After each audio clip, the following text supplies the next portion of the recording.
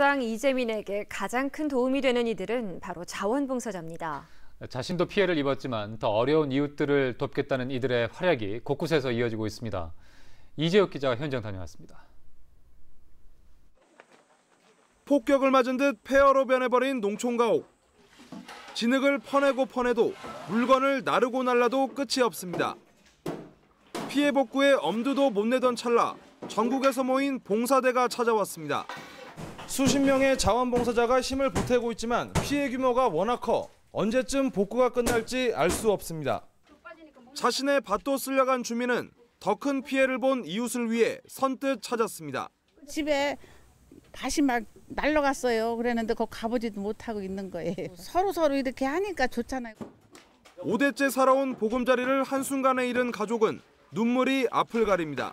그래도 어머니 아버지 살아계신 것만 냉장고고 농이고 다 내주니까 너무 오늘 정말 감사했어요.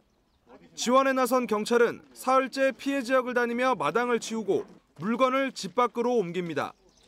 다시 찾아온 무더위에 땀이 흥건하지만 고향에 있는 할머니를 생각하며 힘을 내봅니다. 처음에 현장에 왔을 때 시골에 계신 할머니의 생각이 나서 뭔가 더 참혹한 게 몸소 느껴지는 것 같습니다. 고마움을 표현할 길 없는 주민은 진흙 범벅이 된 의경들 손에 물을 뿌려줍니다. 힘이 많이 되죠. 도와주시니까. 저희들한테는 아주 뭐 천군만만한 다름없지. 산사태 현장에는 군대 중장비가 등장했습니다.